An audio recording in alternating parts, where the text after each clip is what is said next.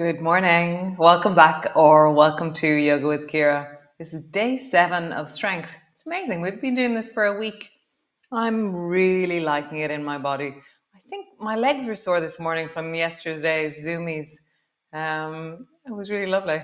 Um, so today we're doing boat, but when you're standing upright, boat is a bit like chair. And so we're going to be working with chair, boat, and some side lying today. So you're going to need a weight if you're using one. Not too heavy because we'll be going, is that lateral? We'll be doing something new with our shoulders. So not the heaviest weight that you have. And then also a belt for the very end. Okay, so come stand on your mat and we shall begin. Oh, and I have Jig, and Jig always wraps himself up in his blanket. So you might see the blanket moving at some stage. So cool. So standing on your mat. So we'll start without any weights and then we'll move to weights if you're choosing weights. So find your ground, feel your feet. you just feel and awaken your feet. How do you do that? I like lifting my heels off the floor. I'm going to roll one foot in a circle. So I'm rolling the ball of my foot on the floor and then rolling the other direction. And then the other foot. As I'm doing this, I'm really listening to the information that I have feet. There are feet, I have feet, they're mine, they are me, I am feet. baby toe side, big toe side, baby toe side, big toe side, baby toe side, big toe side. Nice. Bring your hands to your knees and just do gentle circles with your knees. Just check out how are my knees doing today? Slowly listening. Do your knees make noise? Is there a range of your knees that you need to protect and mind? Sit your bum down, straighten your legs. So you're just really gently warming up into your knees, listening in. Nice. So you're in the supermarket, you've got stuff in your arms, and something's dropped on the floor. So you're going to reach down and just touch the floor on the right hand side and then come back up. And then touch the floor on the left hand side. Right hand side. And as I touch the right hand side, my left hand comes to my knee. So I use the support of the other leg as I do this. Now you're going to go backwards. So as far back behind you, touch the floor. Back. And then as far back behind you on the left side, touch the floor. Hmm. Back up. Nice. Forward. Touch the floor as far forward as you can. And then the other side. Touch the floor. Come back up. So get your weight if you're using one. Um, so this is going to be a two-handed movement. So it could be a heavier weight if you wanted. See. So your weight is going to be tucked into your chest. Bend your knees. Straighten your legs. Bend your knees. Bring your elbows to your knees Bring your weight back up to your chest and rise. So you're tucking your, your weight into your chest and then rising. I just feel that the torso is moving the weight rather than your lower back. Hmm, hmm, I don't know how to explain that, but yes. So come down and now bring the weight down to the right hand side. Weight to your torso, stand back up. Come down, weight to the left hand side. Weight to your chest, come back up. Nice. Right hand side. Tuck it in. Rise up. Left hand side. Tuck it in, rising up. Now you're going to go back with your weight.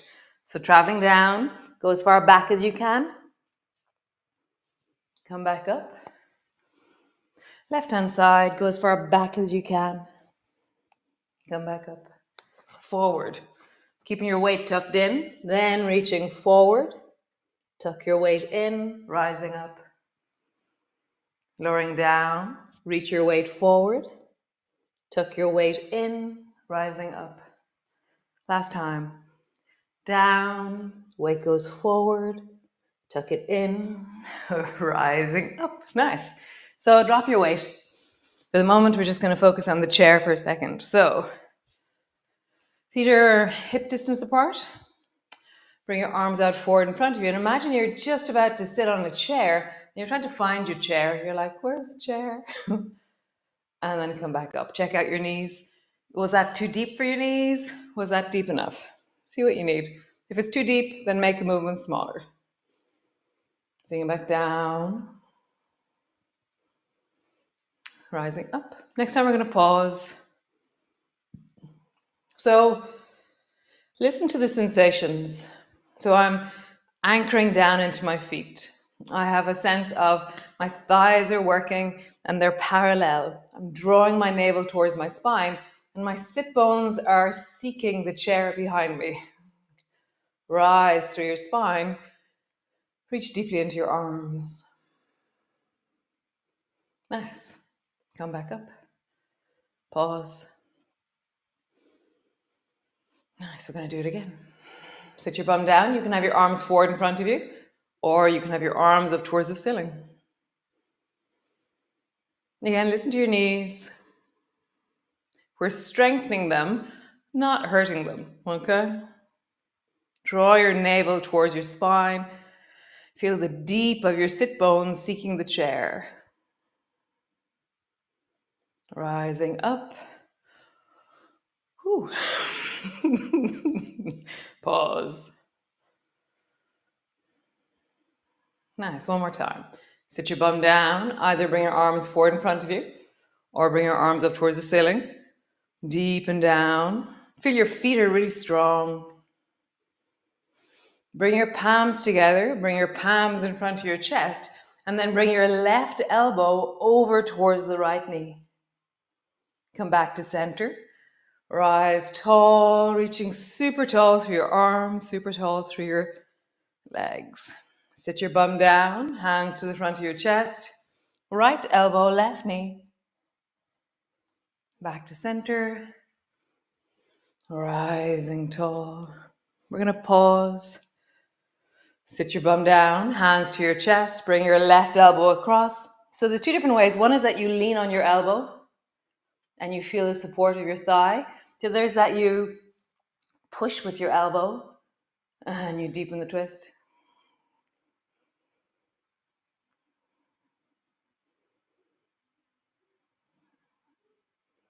Nice. Come back to center. Rising tall. And then coming down. Sit your bum down. Bring the left elbow, uh, right elbow across over to the left side. Again, either lean into your knee or push with your elbow, twisting deeply.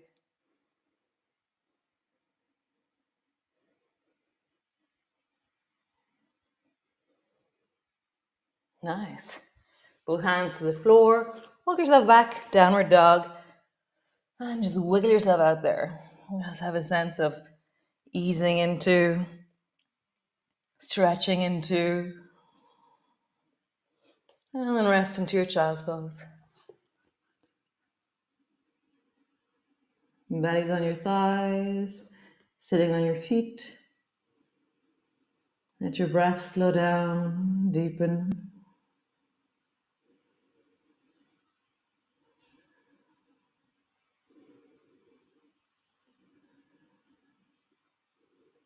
So, the last few days we've been doing the Kung Fu Bunny, where we're in a cat pose and we swing our foot forward so we're going to do that now, and then we're going to find a new way to do that same pose. So come into your cat pose.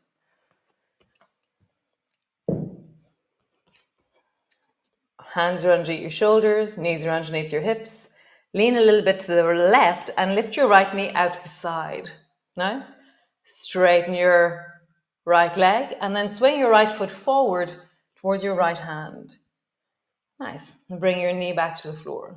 And do it again. Lift your knee up Straighten your leg, swing your leg forward. And you can use momentum so that the, the straightening of your leg has a swing to it.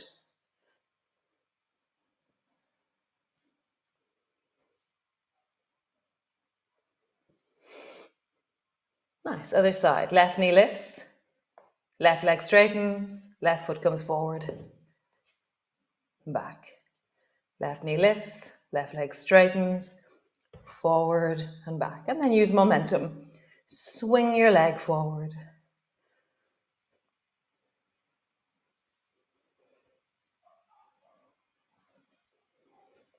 Nice. Rest yourself back, come into a child's pose, pause.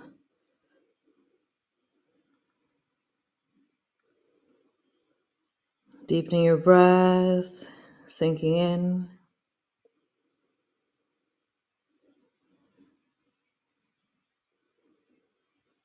Nice. So come lie on your side. So I'm going to start on the left side. So lie on your left shoulder, bring both hands in front of you, straight in front of your chest, and have your knees straight in front of your hips. So in theory, we're like a fallen over cat. So we're in a cat pose, but lying on our side. And then take that left arm and just bring it underneath your head so you have something for your head. Okay. And my right hand is actually going to be kind of stuck to the floor a little bit, but it has this sense of support for me. Okay. Nice. So Kung Fu Bunny on the side. Kung Fu Bunny and fallen over cat. Lift your right knee up. Straighten your right leg and now swing your right foot towards your right hand. Come back knees together. Lift your knee, straighten your leg, swing your foot forward towards your right hand, and then come back. And just find that flow or that swing or that momentum.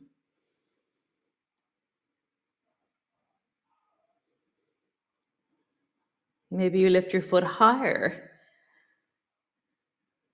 Maybe you don't.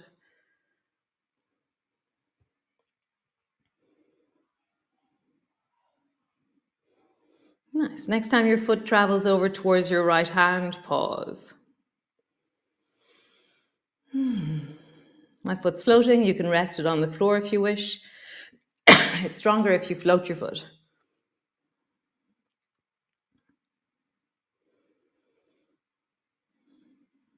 Nice. Bring both knees together. Ooh, pause. Great. So straighten your right leg long so it reaches down towards the end of your mat. And then draw your right knee forward towards your elbow. Stretch your right leg long. So you're, as I, like my head is being lifted off my left arm because of the pull of my right leg down. And then I bend my knee and my head is pushed into my left arm. So I just feel the sense of the whole of my body is traveling down into that right leg and then it's squeezed up reach, squeeze. Reach and feel the reach from the deep of your belly, the buttock, like this, this powerful, it's a bit like zoomies yesterday. How powerful can you reach into your leg as you lengthen?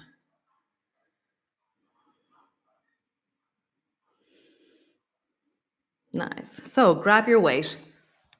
Hopefully it's somewhere easy to grab. So it's not a very heavy weight, this one, because we're going sideways, not laterally. Anyways, so bend both knees so your knees are together. And then pull your right elbow back with or without a weight and bring your elbow to the floor behind you.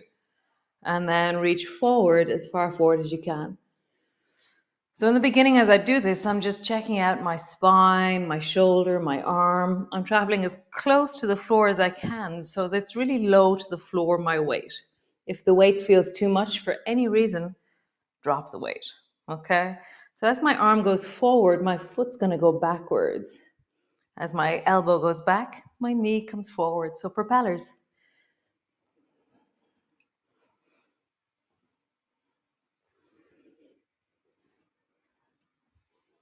Really sweeping, lengthening, deepening, listening to your body. What's the range that feels wholesome for you, with or without all weights, smaller or bigger movements. One more time. Nice. Come lie on your back. Pause. Notice the difference between the left and the right.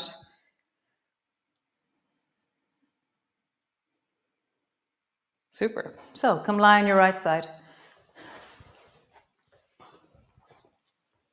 Lying on your right side. Have both arms out in front of you. Have both knees out in front of you like you're a fallen over cat. and then bring your right arm underneath your head. Your left hand is connected to the floor. Lift your left knee straight up towards the ceiling. Straighten your left leg and then swing your left foot towards the left hand. Bring your knee back. So the traveling back, you can travel low, or if you travel high, it stays a little bit more intense. So if you're traveling low, you just bend your knee and your foot is back, and then you start again. So you can do a circle or you can do a rebound. Notice what directions, what ways could you create movement here?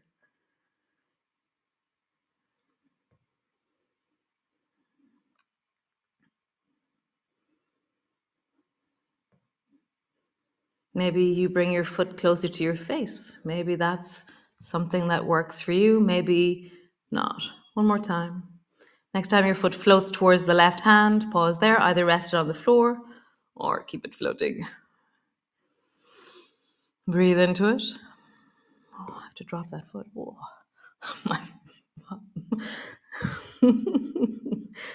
So I did this already today. Bend your knees. And then lengthen that left leg long. So as you lengthen the left leg, that your head is lifted off your right arm almost. And then bend your knee, draw it up towards your elbow. Lengthen long. Can you feel that your ribs are lifted off the floor on the right side because of the pull of your left leg? And your left leg, you're connected all the way down into the toes of you. Reaching. Nice. One more time. Reaching. Cool. Both knees together. Grab your weight if you're doing a weight. If this shoulder feels like, oh no, not a weight on this side, then don't. Okay. Reaching forward. Pull your elbow back. Bring it back towards the floor behind you. And so you're listening, you're going, what is the sense of this side of my body? Next time your elbow goes back, draw your knee forward. Next time your hand goes forward, bring your foot back. So propellers.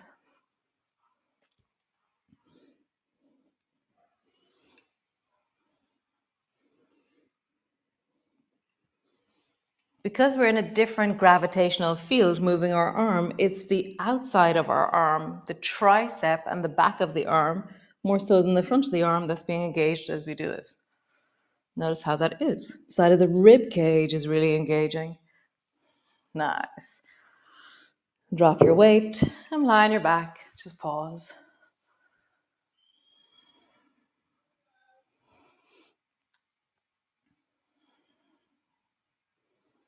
Super. So come sit on your mat, all the way up. Have your mat handy. Oh, not your mat, your um, belt handy. So start by wrapping your belt around your feet. Okay? And then bend your knees. You can bend your knees and then wrap your belt around your feet as you wish. So I have a sense that my mat, no, my belt is anchored by my feet. And then I'm going to sit up tall. And my belt is, yeah, it's nice. I can pull on my belt and sit up tall. And then I'm going to round back like I'm going to roll back a little bit. I'm going to go sideways. Sitting up tall, belly comes towards your thighs, and then roll back.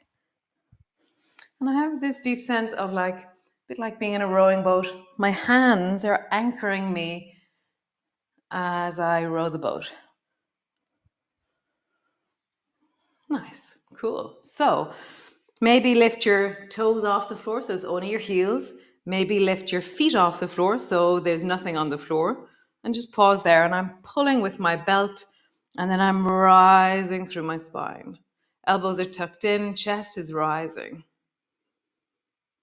So heels can be on the floor or heels can be off the floor.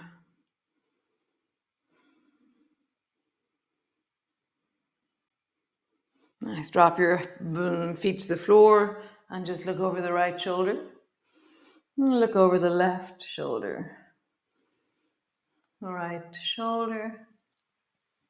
The left shoulder. Nice. Lift again. So this time either have your heels on the floor, have your heels off the floor, or have your feet parallel to your knees. And I'm pulling with my hands on the belt, and then I'm lifting my chest, pulling my shoulders backwards. And it's a balancing act between the weight of my torso and the weight of my legs, but my hands are really active and pulling.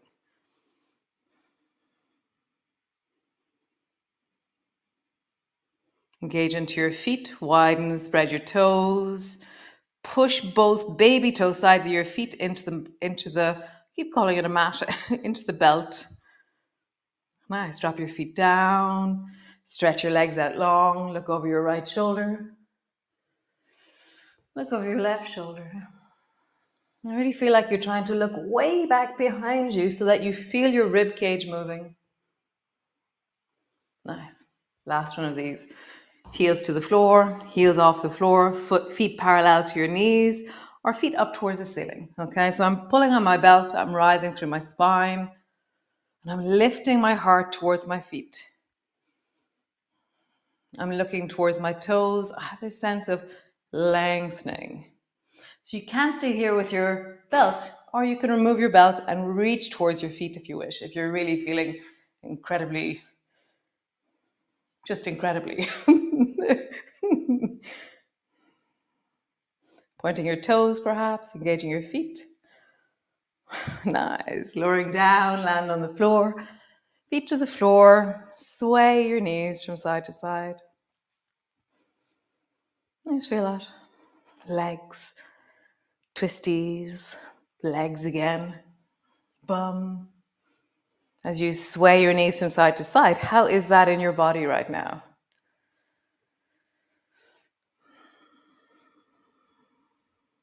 Nice. So you can either stay in a twist or you can bring your right foot to your left knee and just draw your foot up towards you. Do that a few times maybe. Hmm, you can rock from side to side with your foot on your knee. Just easing out all those muscles that we were working in the buttock. Nice other side. Bring your left foot to your knee. Squeeze it up towards you. And then just rock.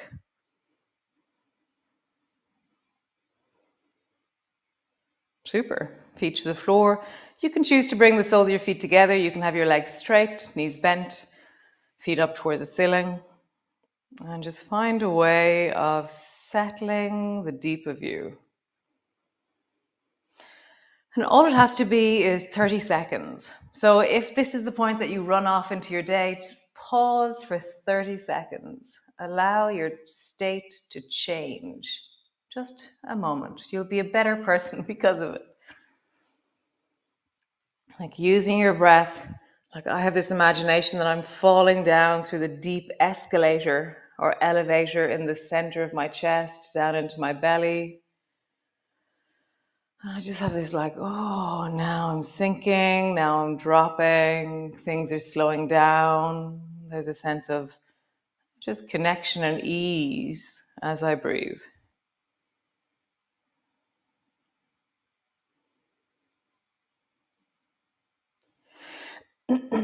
Awesome. If you have time, stay there. If not, begin to move your toes, your feet. If you have time, keep breathing. If you don't have time, keep breathing. um, so I'll see you tomorrow. How gorgeous. Really lovely. Really loving strength. So we enter the second week of strength tomorrow. Um, tell me how you're getting on. I'm loving it. Loving it. I'm liking this peak pose and the different things that we do, and that each day is totally different. It's great. Nice. Super. Slán, slán.